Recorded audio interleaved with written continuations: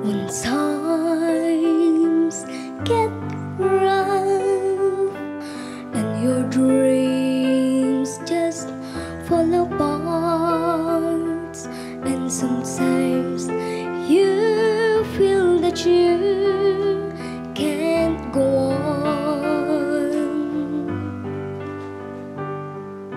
When friends turn their backs